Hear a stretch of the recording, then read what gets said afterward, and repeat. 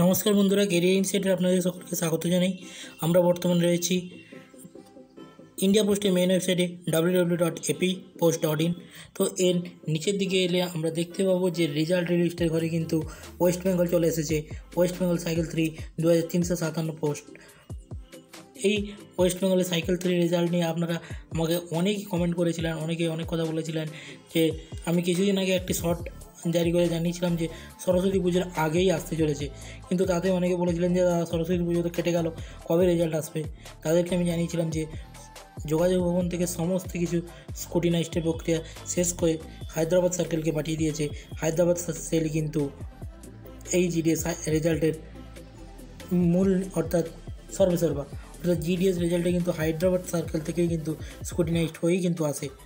অর্থাৎ সেই রেজাল্টে কিন্তু আজকে প্রকাশিত করে দিল অর্থাৎ যার ফর্ম ফিল আপ চলেছিল গত বিশ, অর্থাৎ বাইশে জুলাই দু হাজার বাইশে জুলাই দু হাজার একুশ থেকে বাইশে আগস্ট দু হাজার একুশ পর্যন্ত এবং এর রেজাল্ট বেরিয়ে গেল ঠিক ছয় থেকে সাত মাসের মাথায়। তো দেখে নিই সেই রেজাল্টের পিডিএফটি তো কীভাবে আপনারা দেখবেন সেটি বলে দিচ্ছি। তো so let's go starting with us তো এখানে পিডিএফটি কিন্তু সুন্দরভাবে সাজিয়েছে।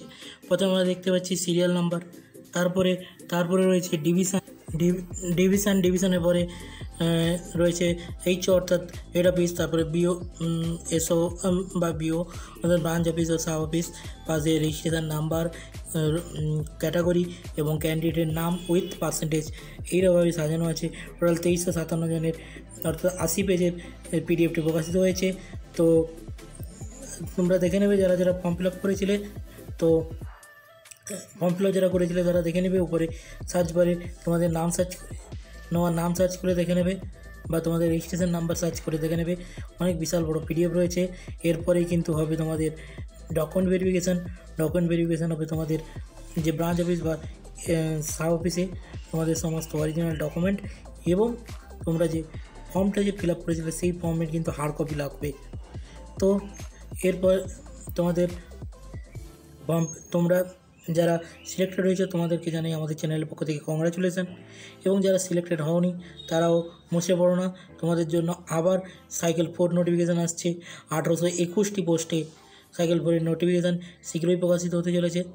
তো, এই ছিল আজকে নোটিফিকেশানটি ভিডিওটি ভালো লেগে থাকলে please please please like and subscribe our channel and join our Telegram channel to get more and more notification as soon as possible. Thank you friends.